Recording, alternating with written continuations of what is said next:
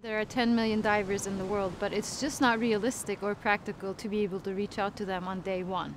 So I have started small with local diving communities. For example, at MIT, we have a scuba club, and those folks have been instrumental in volunteering their data, giving me their dive computers for certain tests, even going out diving with me to collect data. Once we have established uh, a baseline with our local diving community. Then I plan to expand onto uh, perhaps national diving clubs and dive shops, and then hopefully international.